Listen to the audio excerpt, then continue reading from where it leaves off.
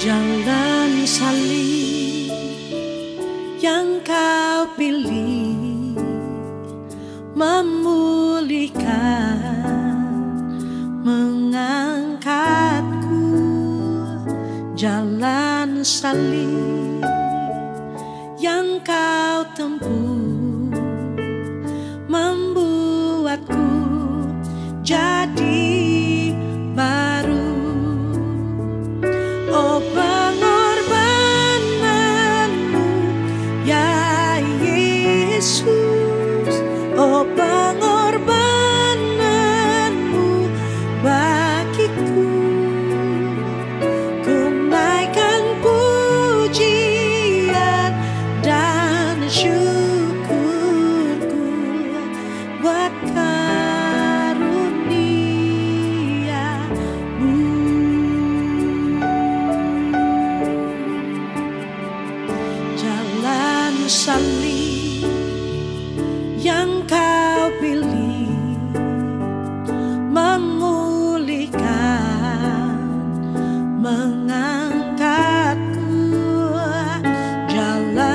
salir.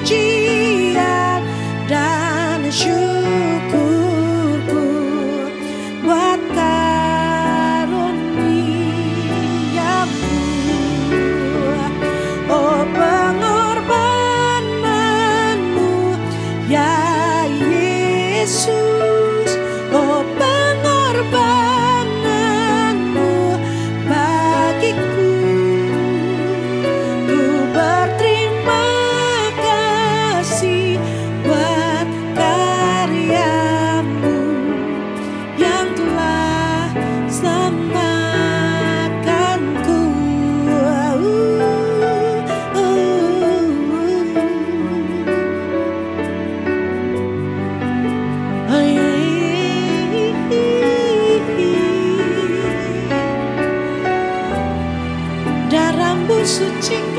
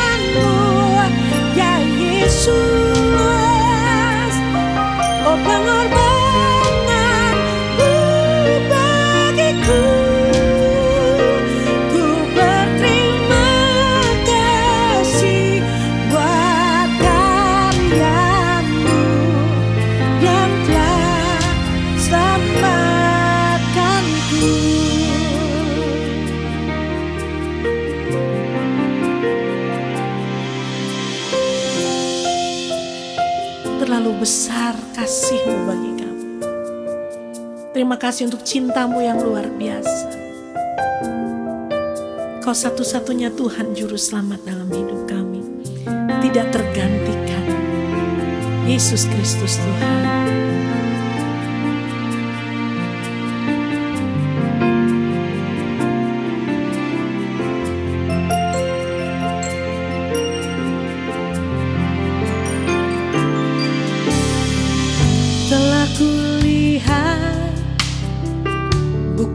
Kasihmu. Kau menderita gantikanku Dengan darahmu Kau selamatkanku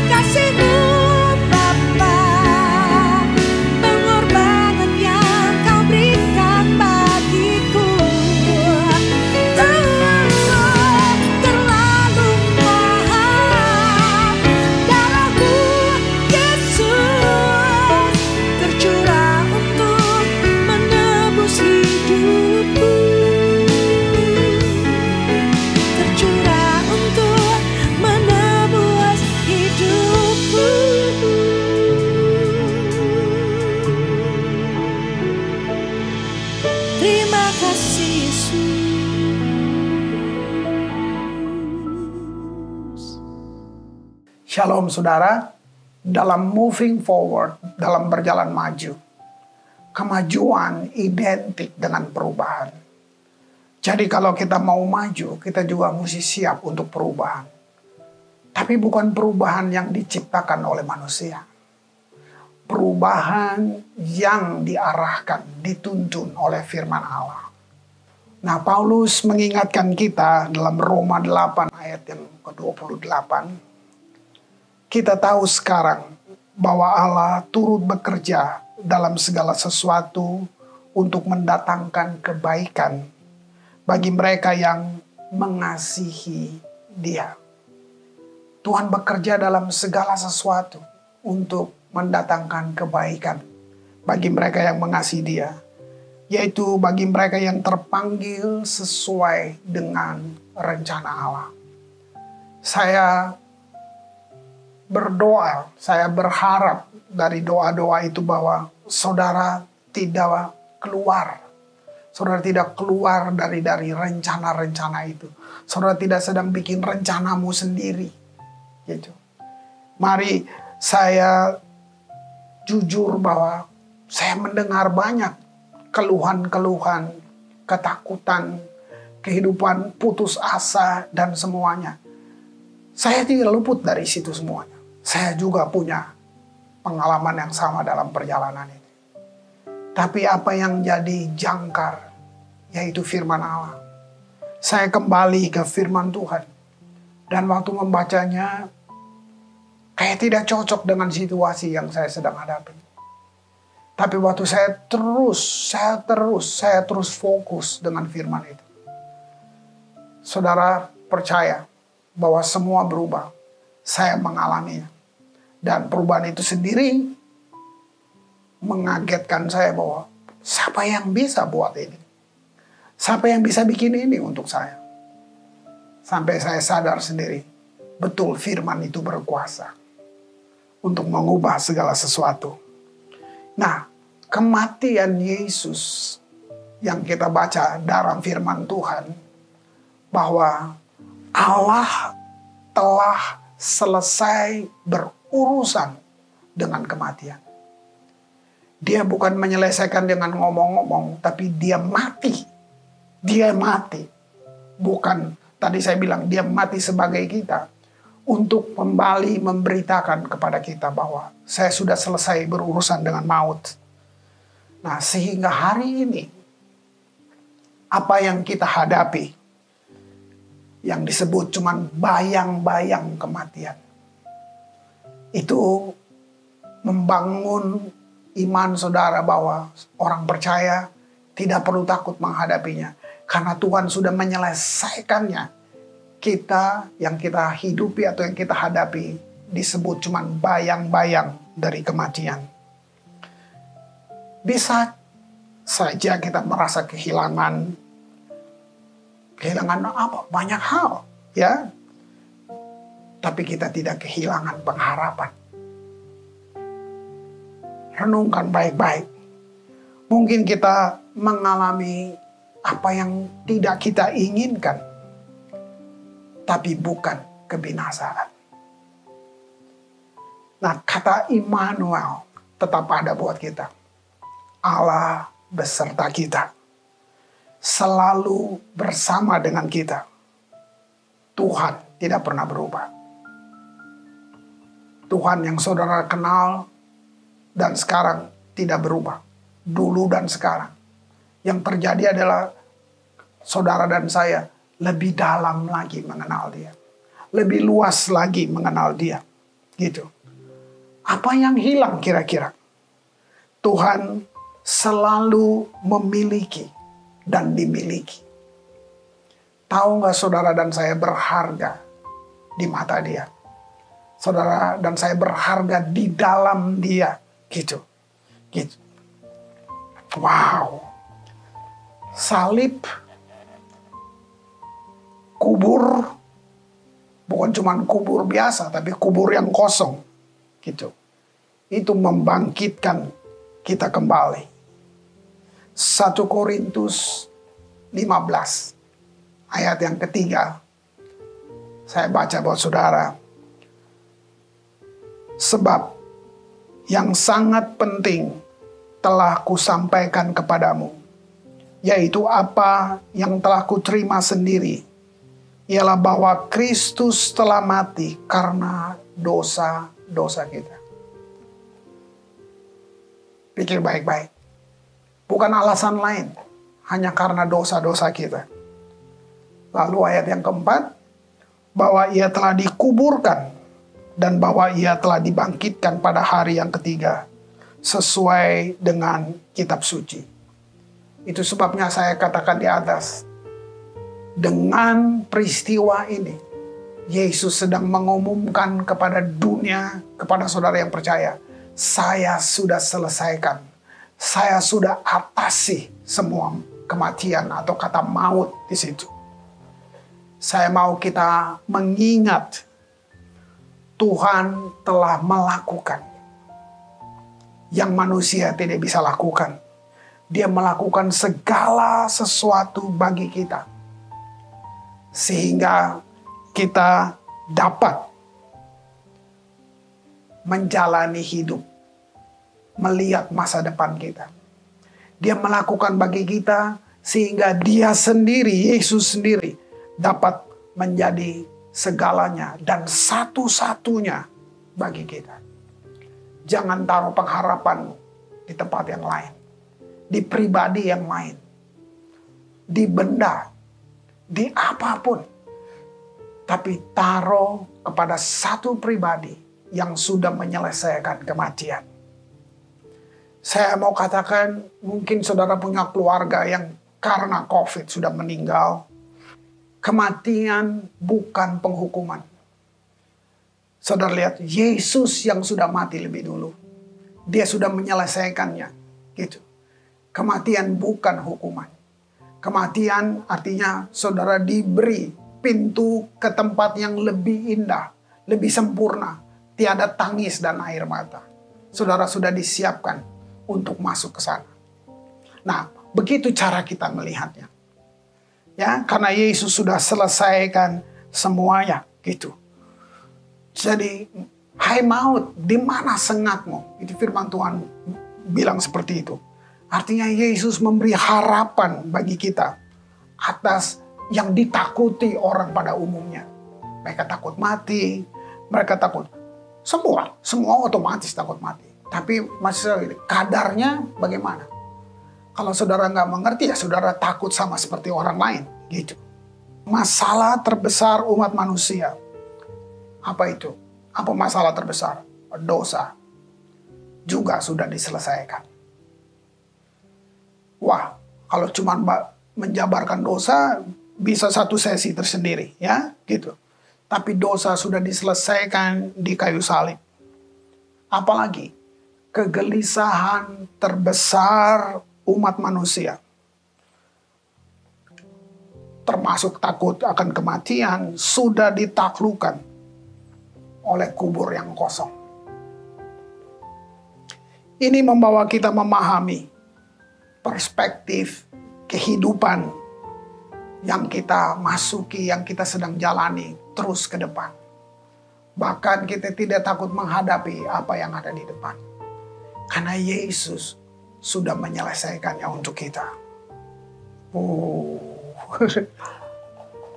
Lihat, karena Allah yang menjadi manusia, dia menjalani hidup seperti kita, dan dia mendahului, dia mengatasi kematian yang saya ulang-ulang terus dari depan. Berarti dia juga dapat membawa kita dalam menghadapi tantangan yang lain yang ada di depan. Saya pengen saudara tangkap pesan ini tentang untuk apa Yesus datang. Dari tadi kita jelasin dia mengatasi itu. Nah, salah satu saudara mesti tangkap ini. Yesus datang untuk memberitakan kabar baik. Sebelum dia beritakan itu, dia melaksanakannya dulu. Dia bayar semuanya. Gitu. Yesus nggak datang ke bumi, jalan-jalan, piknik. No. Saudara baca baik-baik selama Yesus hidup. Bikin apa aja sih? Dia pergi ke tempat orang-orang yang sangat ditolak, yang sangat dikutuk, yang sangat tidak disukai. Dia itu datang ke orang yang seperti itu. Kurang apa lagi? Orang kusta, pelacur, pembunuh, pemungut cukai, semua yang dibenci bahkan dikutuk. Yesus datangin mereka. Gitu. Justru dengan orang-orang yang merasa paling baik, paling benar, yang bahwa sudah melakukan semuanya, Yesus sudah duduk dengan mereka. Lihat itu. Nah, luar biasa. Jadi itulah yang jadi berita yang dibilang kabar baik atau Injil. Saya bacakan Lukas 4 ayat 18. Ini isi hatinya Tuhan. Dibuka dengan perkataan ini, roh Tuhan ada padaku. Kunya besar pada Yesus, roh Tuhan ada padaku. Oleh sebab ia telah mengurapi aku untuk menyampaikan kabar baik kepada orang miskin Lihat, ia telah mengutus aku untuk memberitakan pembebasan kepada orang tertawan. Miskin, tertawan. Dan penglihatan bagi orang-orang buta. Untuk membebaskan orang-orang yang tertindas. Untuk memberitakan tahun rahmat Tuhan yang telah datang dari semua yang gak enak tadi, buta, tertindas, miskin, bu, semua itu ada kata tahun rahmat Tuhan. Rahmat itu satu kebaikan tanpa syarat, tak bersyarat. Kasih satu arah. Gitu. Satu arah artinya gini, saudara mau mengasihi Tuhan atau tidak, gak urusan. Tuhan tetap mengasihi saudara. Dia nggak minta izin waktu dia mau mati buat saudara. Dia mati saja. Saudara mau nggak percaya, saudara nggak suka, saudara nggak, dia nggak bu. Itu yang saya bilang kasihnya searah. Luar biasa, nggak masuk akal bukan? Saudara lihat itu. Jadi inilah Injil adalah kabar baik. Tapi sayang, mungkin kita memang mengaku dengan mulut sebagai orang Kristen. Tapi tidak semua orang mengerti mengapa Injil disebut kabar baik.